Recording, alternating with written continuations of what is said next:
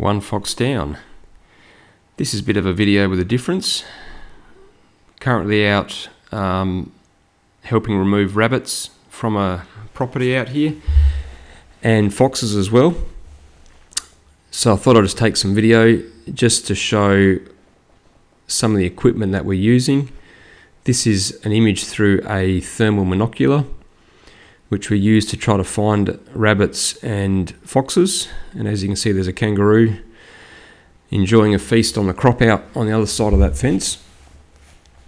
Now, tonight being tonight, it's a clear sky.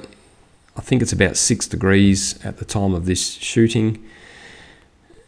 And you can see there's not a rabbit to be seen.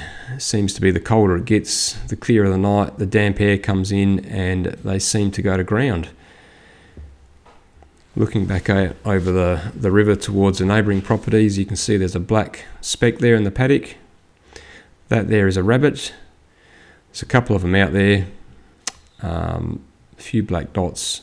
A bit hard to pick amongst the rocks on the hill. The rocks are obviously holding some heat um, as well. The rabbits are actually darker when it comes to like a jet black colour on the screen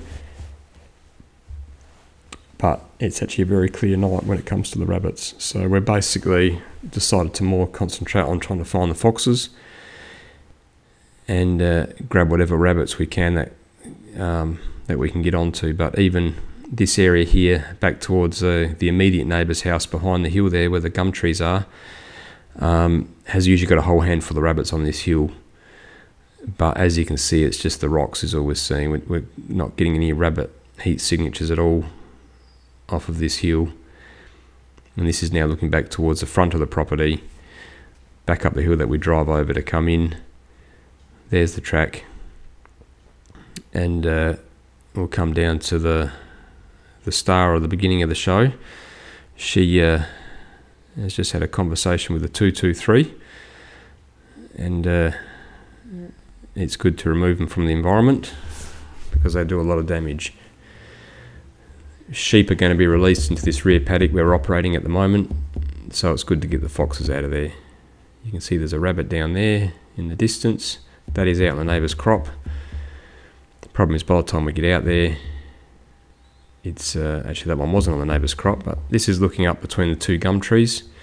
This is where we've been seeing the foxes move through, and by the time we get out there, we just they just disappear we just can't, we're struggling to get onto them. So we're different plan of attack for tonight, which has already paid dividends. Um, I ended up after this, I ended up going back down there to get onto a few rabbits that we did see eventually, with no luck. Um, so, but then upon return, we've uh, made our way back out.